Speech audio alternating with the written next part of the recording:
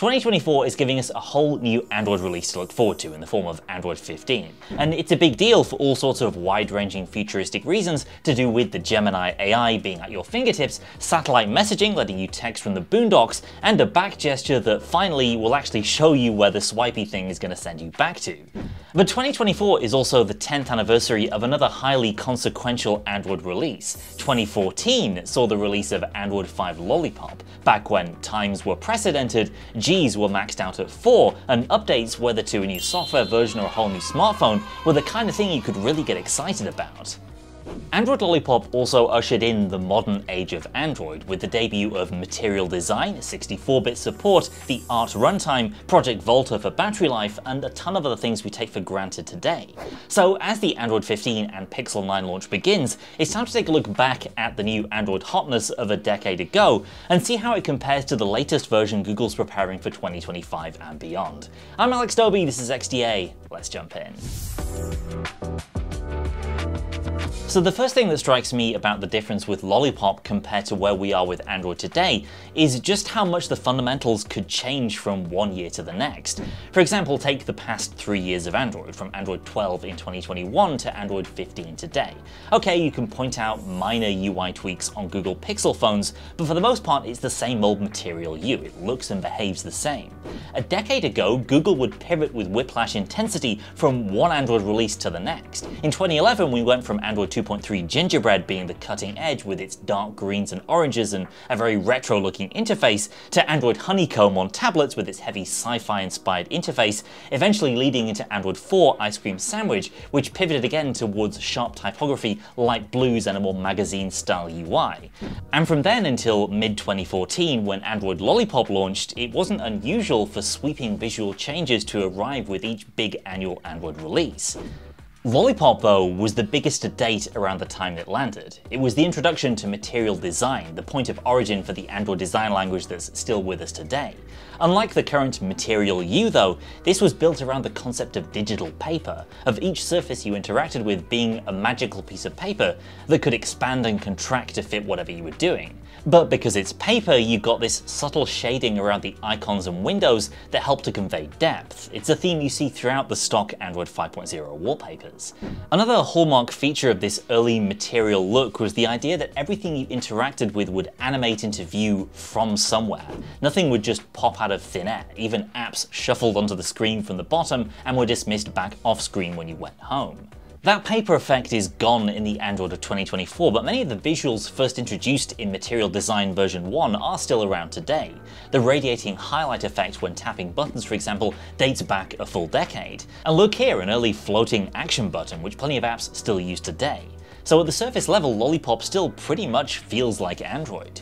In fact though, the visuals that were created for Android Lollipop's announcement at the Google I/O 2014 Developer Conference showed a much more ambitious vision of material design than was ever seen in reality on any smartphone. That's just what happens, I guess, when the idealism of Google's designers runs up against the dozens of separate teams maintaining all of Google's individual apps like the Play Store, Phone Dialer, and Play Music. There's still a lot that I appreciate about this era of Android design though. Arguably, many of the apps like the phone dialer and Gmail have a much more balanced look than their 2024 counterparts on the Pixel 8 Pro here. Which brings us to the biggest visual difference between this Android and current Android. Back in the Lollipop days, individual apps, and especially Google apps, had their own color palettes that gave them their own sense of identity. Hangouts was green, Google Play Music was orange, YouTube was red. Today, that app theming is mostly defined by the colors picked out of your wallpaper by Android's theming feature, part of Material You. This can have the effect of making your phone's palette more individual to you personally, but also means apps often lack their own sense of identity within them, with everything taking on the same off-white color based on the primary hues of your wallpaper, and every Google app now using a similarly incomprehensible multicolored icon. Not saying what we had 10 years ago is necessarily a better design than now, but individual apps definitely had more character back then. This being before the age of gesture navigation, navigation and multitasking is definitely the most different feeling thing about Lollipop. On-screen keys were still the only way to navigate, and these got a mini facelift with geometric back, home and recent apps keys in Android 5 that stuck around through until Android 9 Pie in 2018. And Lollipop swapped out the more information-dense recents menu of Android 4 for this Rolodex style arrangement that played into the digital paper vibe of Lollipop, where your apps took on the form of just an endless deck of cards. A year later, Android 6 Marshmallow would improve further on this with a double tap gesture to quickly hop between two apps, which kind of worked like an Alt-Tab does on Windows. But by far my least favourite thing about this card deck multitasking system was how Chrome would interact with it. In Lollipop, each Chrome tab would show up here as its own individual card, instantly creating a whole lot of extra clutter, unless, unlike me, you were the kind to closely curate all your browser tabs.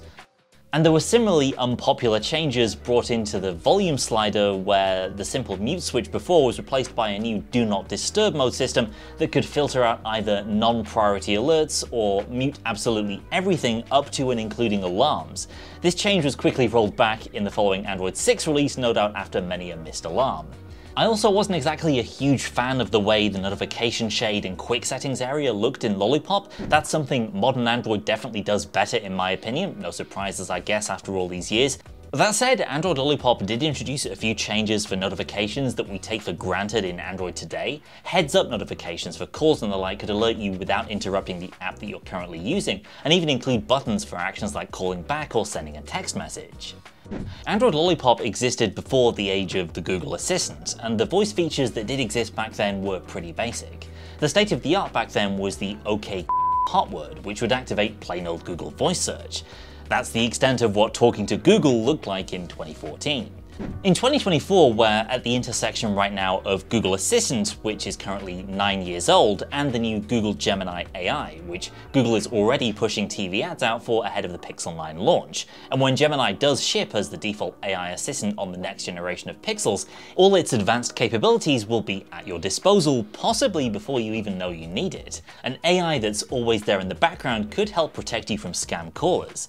And when you do want to actively invoke it, it's smart enough to instantly chew through a PDF or a YouTube video and answer questions on it. That's in addition to the usual email writing and cat playing a guitar AI cartoon trickery. AI voice assistants are arguably the biggest user-facing difference in how Android works in 2024 versus a decade ago, and that gulf is only going to widen with the launch of Gemini on the Pixel 9 later this year. Another holdover from earlier Android releases is Google Now, activated by holding down the home key and swiping up. This feature is no longer active, but used to bring up a card deck of relevant local information like weather, exchange rates, local news, as well as some things that on a modern Pixel now populate the at a glance widget, things like upcoming flights and appointments. This, in my opinion, is far superior to the largely spammy garbage in the current Google Discover feed, and I think it's a real shame it was eventually discontinued. With that in mind, it's also interesting to call out a distant relative of Google Circle to Search, a modern Android feature that acts as a visual AI search capability for anything on your screen. Now there's nothing like this in Android Lollipop, but the next release after it, Android 6 Marshmallow, included something called Google Now on Tap, which fed details of apps on your screen into Google to bring up relevant related info. Pretty neat. Like I said at the start, this was a period of constant change for Android, and as well as regular visual overhauls, Google was continuing to tinker under the hood with Android's fundamentals. Lollipop saw the move to the new ART runtime, which compiled apps in advance, as opposed to as they were executed. It was effectively a free performance boost for Android, though it did mean that every time your OS updated, you'd need to sit through this screen while all your apps were recompiled. That was a big Android pain point in the mid-late 2010s.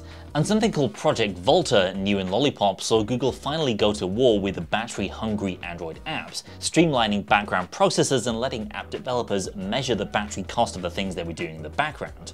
I was in stark contrast to the old approach where Android was only ever one poorly optimized app away from having poor battery life.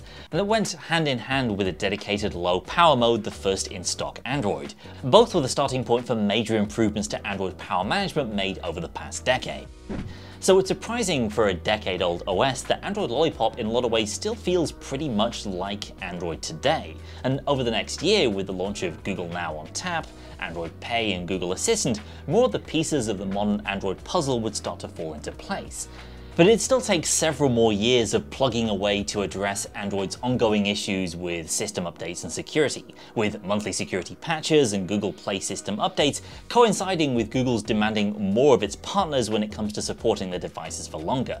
That process of course would accompany continual design refinements and overhauls of Android itself, especially on Google's own devices, through until the end of the 2010s.